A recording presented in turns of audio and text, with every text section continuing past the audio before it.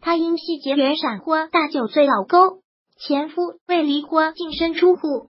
仅三十七岁红的发紫，在演艺圈中发展。也许有很多拍了一辈子的戏，却没有让观众所熟知。也许毕业后的第一部戏就是主角一炮而红。也许遇到一个合适的角色，通过出色的表演让观众记住了他，并翻看他之前的作品，才知道原来他已经带给大家了这么多的角色，只是大家没有过多留意而已。他无疑是最后一种的存在。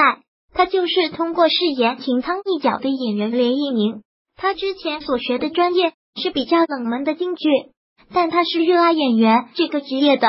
毕业后的他选择考入香港无线艺员训练班，之后担任武打片的动作导演及武术指导。爱好表演的他，继而转战电视圈发展。他参演了很多爱国题材的电视作品，多饰演积极正面的角色，是一位颇具才华的男演员。大家也许不知道的是，连一鸣还有一位同是演员的前妻，他前妻的名字叫做陈小洛。当年十七岁的他进入演艺圈，曾经与黄奕合作过。他在剧中饰演老太君的贴身丫鬟，丫鬟虽生的漂亮，但有一副坏心肠，用如今的话来说，就是一个十足的心机女。这一角色在她的演绎下变得活灵活现，当时受到了很多观众的赞赏。二十一岁的陈晓诺去剧组探望好友，而与林忆明相识之后，在拍摄电视剧时再次相遇。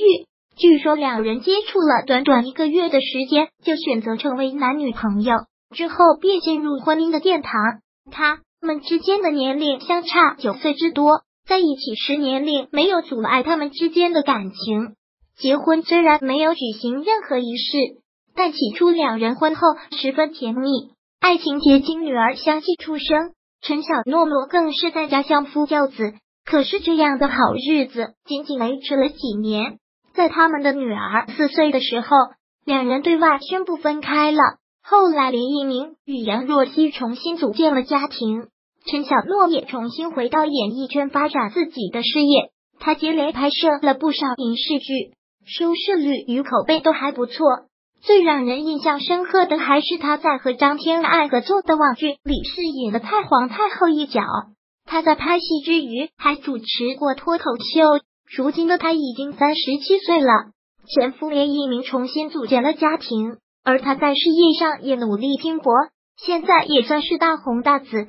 希望他能早日找到幸福吧。